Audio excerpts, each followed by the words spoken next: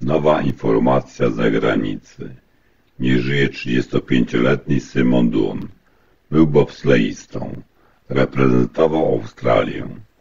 Nie osiągnął większych sukcesów.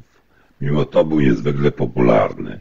Był pierwszym jawnie homoseksualnym mężczyzną w sportach zimowych. W 2016 roku skończył karierę i zaczął amatorsko grać w rugby. Dołączył do Sydney Convicts, drużyny założonej wyłącznie z gejów. W 2021 roku wrócił do bobslejów.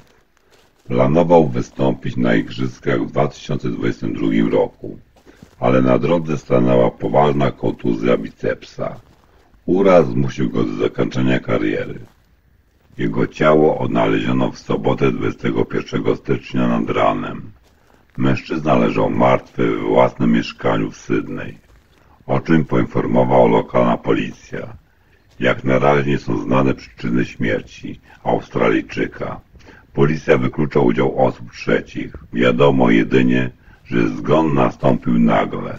To na razie wszystko. Pozdrawiam, Short Joker.